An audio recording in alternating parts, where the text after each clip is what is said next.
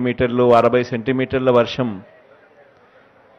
వచ్చిన పరిస్థితుల్లో మనందరికీ జరిగిన నష్టం మనందరికీ వచ్చిన కష్టం ఈ రెండు కూడా ఎవరైనా కూడా చెప్పాలనుకున్నా కూడా చెప్పడానికి కూడా సాధ్యపడనంత బాధ కలిగించే అంశాలే. దాదాపుగా ఈ ప్రాంతంలో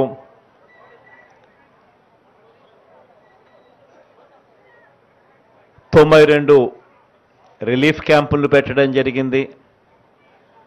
దాదాపుగా ఎనిమిది వేల మూడు వందల అరవై నాలుగు మందిని రిలీఫ్ క్యాంపులకు కూడా షిఫ్ట్ కూడా చేయడం జరిగింది. దాదాపుగా మరూండ్ కేటగిరీ కింద దాదాపుగా అరవై వేల మందికి పైచిలకు వాళ్ళకు రేషన్ బియ్యం ఇరవై ఐదు కేజీల దగ్గర నుంచి కందిపప్పు కేజీ పామ్ ఆయిల్ ఒక లీటరు. ఇవన్నీ కూడా ఇవ్వడం కూడా జరిగింది. ఈ కార్యక్రమాలు ఏదైతే జరుగుతూ ఉన్నాయో ఏ రాష్ట్రంలో లేని వ్యవస్థ మన రాష్ట్రంలో ఒకటి ఉంది.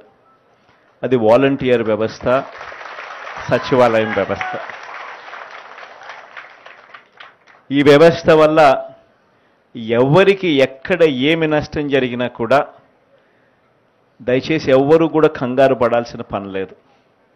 అన్ని రకాలుగా ప్రభుత్వం ఆడుకుంటుంది అనేది ప్రతి ఒక్కరికి కూడా భరోసా ఇస్తూ చెప్తా ఉన్నా. ఏ ఒక్కరికి కూడా నష్టం జరగదు.